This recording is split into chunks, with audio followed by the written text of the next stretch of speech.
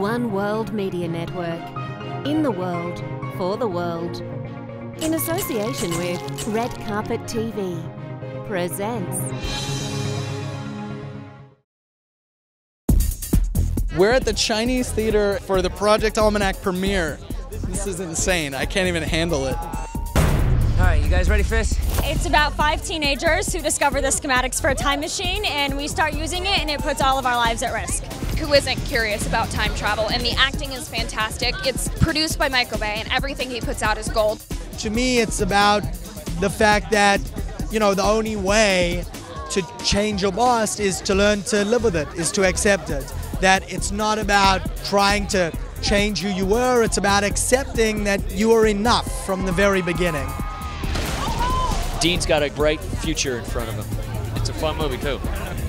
It's got the action, it's got the comedy, it's got the love story, it's got the great relationships between the characters. It's really got something for everybody. It's just a fun ride, man. It's, and you're gonna care about these characters. Like it's so grounded and realistic. It's fun, man. It's a group of kids that are just like incredible friends, and it's found footage. You're gonna feel like you're in the car with us.